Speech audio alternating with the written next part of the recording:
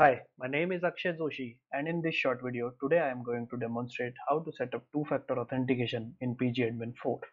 This feature is only available in a server mode. What is two-factor authentication? Two-factor authentication works by adding an additional layer of security to your online accounts. It requires an additional login credential, something you have to gain account access, in addition to your password, something you know. Pgadmin 4 supports two type of authentication email authentication and authenticator app. For example google authenticator. How to set up two-factor authentication in pgadmin configure two-factor authentication for pgadmin 4 requires editing config underscore local.py or config underscore system.py on the system where pgadmin is installed in a server mode you can copy the settings from the config.py file and modify the values for the following parameters. MFA underscore enabled, the default value for this parameter is 2. To disable 2FA, set the value to false. MFA underscore supported underscore methods, set the authentication method to be supported. By default, it is set to email and authenticator mfa underscore email underscore subject. You can provide the subject when you receive the verification code using email. By default it is app name hyphen verification code. Mfa underscore force underscore registration. Force the user to configure the authentication method on login if no authentication is already configured. So this is how config underscore local.py or config underscore system.py look like here are the settings. MFA underscore enabled equal to true.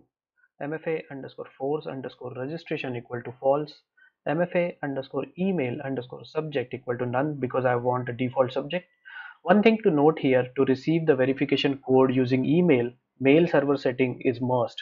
So I have set the mail server setting like mail underscore server equal to smtp.gmail.com, mail underscore port equal to 465, mail underscore use underscore ssl equal to true mail underscore username equal to my username and mail underscore password is my password. So let's see how it works in pgadmin i have logged into pgadmin using my username and password. Go to the top right corner where user information is there. Select two-factor authentication. As pgadmin supports two type of authentication here email authentication and authenticator app let's set up the email authentication first. Click on the setup button.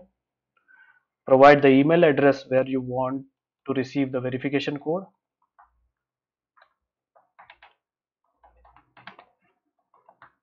Click on the continue button.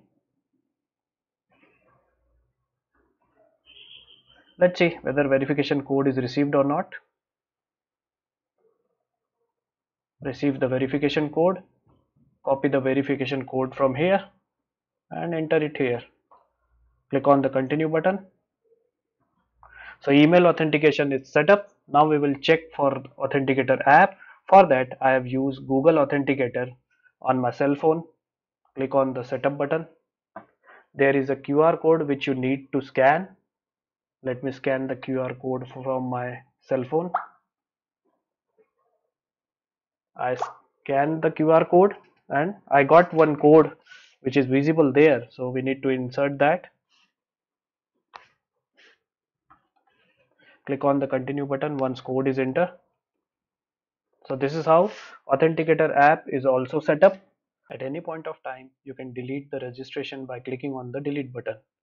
To verify two-factor authentication we need to log out from the pgadmin and log in again. Close the dialog.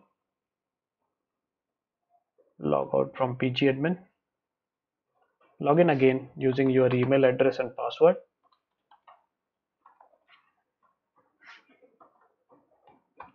Click on the login button. This is the second layer of authentication that we call two-factor authentication. As we have set up for both authenticator app and email authentication you can go by your choice.